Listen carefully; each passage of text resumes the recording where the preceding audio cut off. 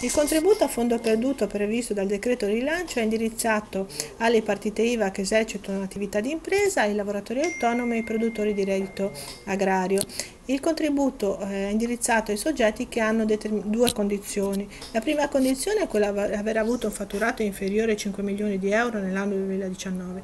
La seconda è quella di aver avuto una riduzione del fatturato di almeno un terzo facendo un raffronto tra gli incassi del mese di aprile 2020 rispetto agli incassi del mese di aprile 2019.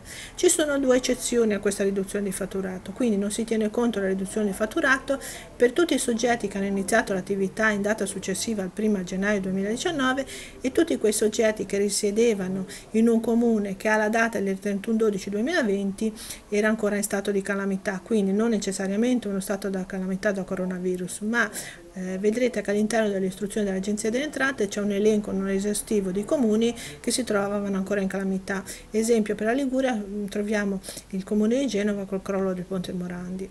La domanda diciamo, di contributo può essere presentata in un arco temporale che va dal 15 giugno al 13 di agosto, con un'eccezione al 24 di agosto, direttamente mh, sul sito dell'Agenzia delle Entrate. Quindi il contribuente può farlo in autonomia, accedendo con le modalità consuete, quindi col suo SPID, la Carta Nazionale Servizi, Entrate e il Fisco Online. Oppure lo può eh, delegare un intermediario che in questo caso deve avere la possibilità diciamo, di accedere al cassetto fatturazione elettronica. Il calcolo del contributo è molto semplice, viene determinato diciamo, come diciamo, differenza tra gli incassi di aprile 2020 con gli incassi di aprile 2019, su questa riduzione di fatturato viene applicata una percentuale che varia dal 20 al 10% a seconda del fatturato che si aveva nell'anno eh, precedente e il, il, contributo viene così determinato. Ad ogni modo ci sono diciamo, dei minimali di contributo che vengono erogati che sono per le persone fisiche 1000 euro, per le, gli altri soggetti sono 2000 euro. Eh, secondo quanto dichiarato dal direttore dell'Agenzia delle Entrate, eh, entro 10 giorni dalla richiesta di contributo eh, questi soldi verranno erogati direttamente sul um, conto corrente del contribuente.